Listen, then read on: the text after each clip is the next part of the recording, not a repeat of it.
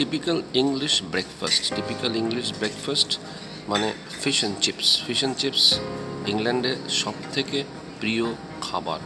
সেখানে কিন্তু এই ফিশ যেটা দেখতে পাচ্ছেন সেটা কিন্তু ধর্ম ফিশ ফ্রাই নয়। আমরা পশ্চিমবাংলা বা ভারতবর্ষে যেরকম ফিশ ফ্রাই তৈরি করি, সেটা কিন্তু এইরকম ফিশ ফ্রাই নয়। এটা ফ্রেশ ফিশ হতে হবে গ্রাউন্ডনাট তেলে এটাকে ভাজতে হবে এবং এর পিছনে অনেক অন্য রকম কারুকার্য আছে।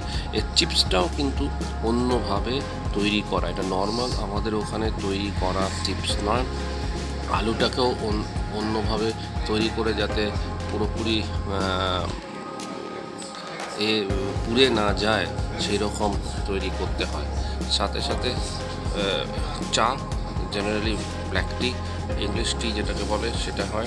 অথবা আরেকটা, আরেক রকম খাবার হচ্ছে গিয়ে অমলেট অ্যান্ড টোস্ট সঙ্গে প্রচুর রকমের স্যালাড এটা হচ্ছে টিপিক্যাল ইংলিশ ব্রেকফাস্ট আর আরেকটা যে ফুল প্লেট ইংলিশ ব্রেকফাস্ট যদি করতে হয়, তাহলে পরে বিনস এগ চিপস আর সাথে করে হ্যাম বা পোর্ক এটা হলো কমপ্লিট ইংলিশ ব্রেকফাস্ট ইংরেজরা সাধারণত যেখানে বলা হয় যে এইগুলো একটু ব্রেকফাস্ট হেভি করে লাঞ্চ স্যান্ডউইচ শুরু করা হয় এবং সাথে সাথে ডিনারটা হেভি করা। এখানে ঠিক আমাদের পশ্চিমবঙ্গ বা ভারতবর্ষে যেরকম হয়, ঠিক তার উল্টো এখানে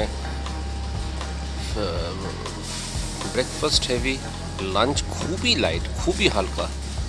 মানে ওয়াকিং লাঞ্চ বলে ওটাকে স্যান্ডউইচ নিয়ে খেতে খেতে, বা কফি নিয়ে খেতে খেতে চলল। আর ডিনারটা একটু সাধারণত হেভি করে।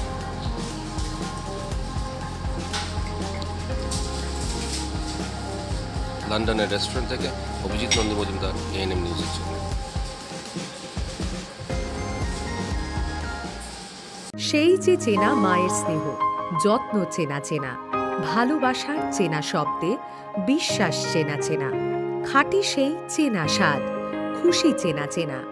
প্রতি স্বাদে পুষ্টির ছোঁয়া, নাম দিয়ে যায় চেনা। নতুন রূপে ভাগীরথী, আজও গুণ দিয়ে যায় চেনা।